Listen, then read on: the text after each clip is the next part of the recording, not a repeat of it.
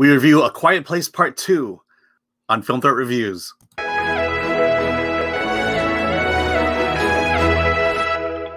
I'm Alan Ng. I'm with uh, I'm with contributing writer Rob Rector, and I'm also with the founder of HorrorBuzz.com, Norman Gidney. Hey, how you guys doing? Wonderful. Super. How are you? I'm Happy good. Yes. Okay. We are reviewing uh, A Quiet Place Part Two.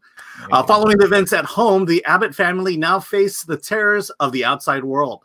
Forced to venture into the unknown, they realize the creatures that hunt by sound are not the only threats lurking beyond the sand path. It's written directed by John Krasinski, stars Emily Blunt, Millicent Simmonds, and Cillian Murphy. All right, so I uh, full disclosure, I have not seen the first movie. I did see this one though.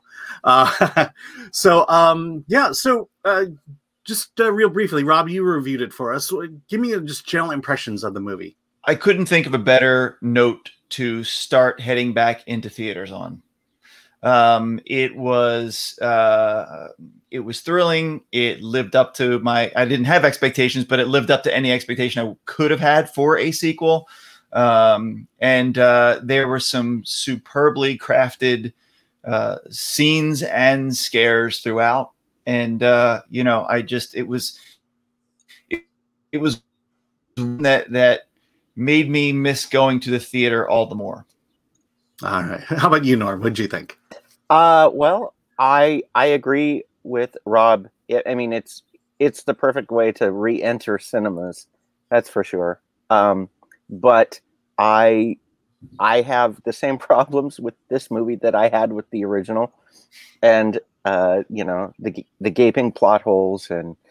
Uh, but if you just stick to the actual story and what's on screen, it's it's a hell of a ride. Yeah. Yeah, I mean, I do have some questions about it, which we'll probably get into later. But uh, I think I want to address first this. I well, the fact that this is a sequel. Uh, it's part two. Um, so how you obviously you two saw the original. Uh, how does it do as a sequel? And, and generally, I qualify it two ways. One is, did the movie bring back what was fun and great about the first movie? And two, did it effectively open the world or open the story more? Uh, so how does it how does it uh, do as a sequel? Norm, you want to take this? Oh, I think it it does a, a wonderful job uh, carrying over from the first film and uh, delivering what the first film offered. It it doesn't reach the uh, just the white knuckle crazy uh, craziness of you know a birth in a bathtub, but um, you know which was like insane in the first film, but uh, it definitely it definitely delivers. Absolutely. So what? World, oh, go ahead. Oh, I was, I was going to say the world opens up just a little bit more, and I think that's what I liked about it too. Instead of going eh, to where we get to see the origin stories of these these creatures, and we get to find out their purpose and everything, the lens doesn't open up that wide. It opens up just enough to kind of fill in some of the gaps, and then offer some new potential for for fewer or for the the subsequent films. I think there's one more the franchise to continue. Yeah, um, yeah. I mean, that's kind of how I felt. Uh, you know, I I liked that it opened it up a little bit. Uh, it goes from the house to the town, and then just a little bit beyond that. So, what was it about that first movie that that you thought it brought back so effectively? The the um you know what? I really liked and uh, typically the the prologue to it it starts off with day one so it flashes back to when the family was just before the alien invasion. And what i really liked about it is it felt purposeful to show that. It wasn't just so they could bring back krasinski's character in it.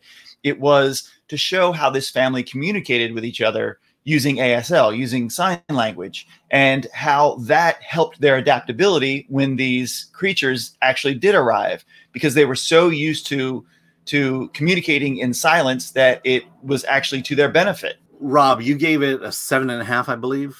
Uh, yeah. And Norm, I think you were kind of in that range as well. Yeah, I, I, gave it a seven. I, yeah. You know. So what what kept it from jumping to an eight or a nine? Uh, you know, we'll get into spoiler territory, uh, mm-hmm. but I just, uh, you know, we'll get that later um, right. into the minutia. But again, like I said, it's a fun ride, but uh, there are. I, I, it uh, abrupt ending. Mhm. Hate it. You know, it it the, the same the the same thing happens in the first film where, you know, it it it's something's going on and then cut to black, directed by you know Yeah. Krasinski. John It's like, Yeah. Him from The Office. Right. Right. so, Yeah, How about I- you, I mean, it was um you know uh, the performances were outstanding um you know the the same limitations that norm said i'll echo um i feel uh, you know if i if i had to to find fault in it you know there were some some um uh, plot devices that i felt um uh, they were very very similar uh to the original so um, i mean we came in with expectations already um, and they kind of you know I- don't they, they recycled a little bit of it, but that said, they did it Mhm. effectively, so I, I can't really criticize it all that Yeah. much. But Yeah, and the the one thing that I I love about both of these movies is Krasinski and uh, his writing team really know how to build tandem plots to ratchet up the mm. tension, Yeah. and then suddenly you know cut like be intercutting with three separate things going on, the and it's almost editing, unbearable. yes, Yeah. that- Yeah. the parallel It's editing really during good. that was amazing to take three separate plots that are you know three separate storylines and to actually have them do the the rise and fall action simultaneously you know Yeah. because sometimes it can take you out when you leave from one to the other but you're left in just the same place of tension in that last scene and then boom it mounts it again Yeah. and again and it was it was so effective i thought that was really well Yeah. done Well, I mean, it It was was similar tension. Uh, the the ten the, the tension that occurred to all the characters and all the plot lines just matched, and and I thought that was that was that was brilliant. I, you know, um, so not having seen the first one, uh, if you're curious, um, you know, if you have a passing knowledge of what the first movie is about, you're going to do okay in this one. Um, oh yeah, you can walk yeah. into this one cold and and enjoy it. Yeah, I mean, uh, you know, uh, clearly, uh, I mean, one of the kids dies in the first one.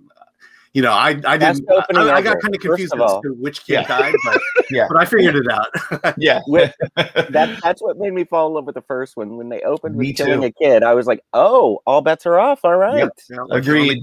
I'm a kid. agreed Yeah, and then um, you know, and then my wife had to tell me what happened to the John Krasinski character afterwards. But you know, I kind of get it. He he had to kill one of the parents uh, Of in that first movie. Oh Uh, man, we should have given a spoiler alert for people who have not seen part one. Yeah. Sorry. Sorry. Oopsie. You know what I'm talking about. you know, you have to know this stuff if we're going in too. right Uh, right you know, they are keeping it within. I think it's a two-hour movie. Um, you know, I feel like if if you really get in deep and it becomes like Walking Dead territory, uh, it's just going to expand the movie, drag it out much longer than I really wanted it to. And Unnecessarily, you know, because yeah some of it you don't need to know.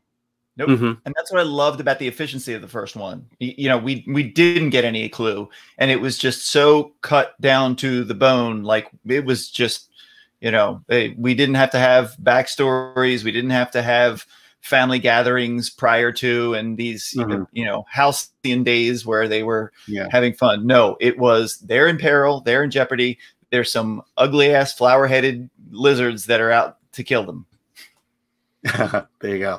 All right, so um, I think we're all pretty much in agreement across the board. Rob, you gave us seven and a half. Norm, you said seven. I would give it a seven and a half as well. If you don't want spoilers, this is a great place to bail out.